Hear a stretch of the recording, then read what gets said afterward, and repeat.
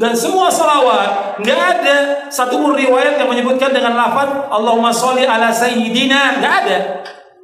Nggak ada Allahumma sholli ala sayyidina Muhammad tidak ada satu pun riwayat tidak ada. Nggak ada sama sekali.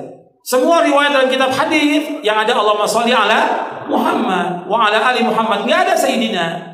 Banyak salawat-salawat yang bid'ah yang dilakukan oleh kaum muslimin. Seperti apa? Salawat tibul qulub, salawat naria, salawat badar, salawat al-fatih. Ini nggak ada.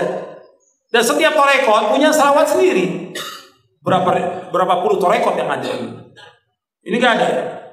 Salawat-salawat yang yang diadakan ini semuanya bid'ah. تعرفون وأنا أمشي في شوارع إندونيسيا أو حتى عندما حلقت الطائرة فوق سمطره رأيت سمطره هذه قطعة خضراء قطعة خضراء لا لا يبدو شيء من ال من ال من اليابسة إلا موضع الطريق طريق السيارات وعندما أتنقل هنا أتعجب من الخضرة ومن ومن الماء ومن المطرة. والله والله لو انتشرت الوهابية لتحولت هذه البلاد إلى صحراء. أنا أقول هذا لأن هذا حدث معنا نحن حدث نحن في, نحن في معنا في اليمن. كنا في بعض الأماكن تشبه إندونيسيا خضراء.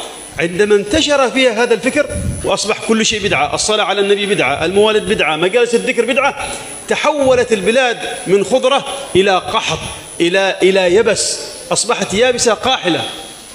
Saya ketika lewat di atas Indonesia begitu mau landing di Pekanbaru, landing di Jakarta, tengok Indonesia ini subur, hijau. Semuanya basah.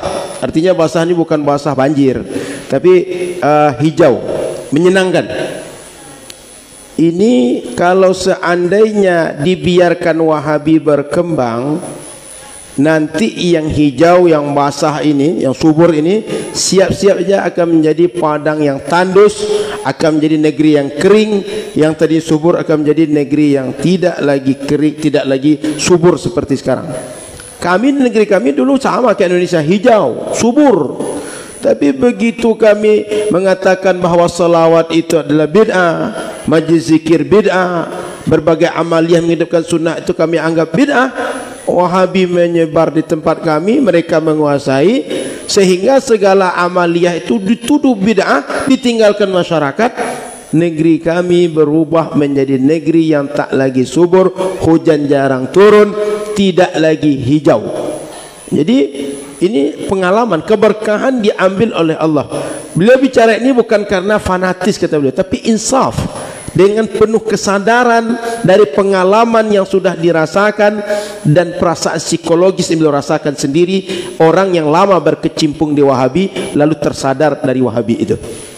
نحن مهما اختلفنا في هذا المجلس قد نختلف في هذا الكلام الذي قلته الناس بطبيعتهم يختلفون لكننا لن نختلف في أهمية ووجوب وضرورة المحافظة على هذا البلد على أمنه على استقراره على اقتصاده على مائه على خضرته. والله يا جماعة أنا لا, أنا لا أحاضر أنا هنا أنصح أنا هنا نذير لكم. أنا بدأت كلمتي بقول الله تعالى والعصر إن الإنسان لفي خسر إلا الذين آمنوا وعملوا الصالحات وتواصوا بالحق وتواصوا بالصبر. أنا نذير لكم إذا تم غض الطرف عن هؤلاء سيتحول حال البلاد سيتحول حال أندونيسيا وسوف تبكون على هذه الأيام وتبكون على ما أنتم عليه من النعيم كما أصبحنا نحن اليوم نبكي عندما ظهرت الوهابية في بلادنا.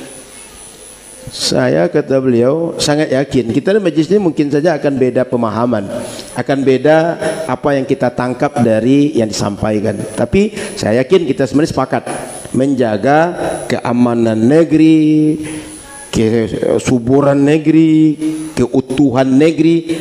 Kata beliau pasti kita sepakat untuk itu. Maka oleh karena itu kita mesti sama-sama menjaga negeri kita sendiri.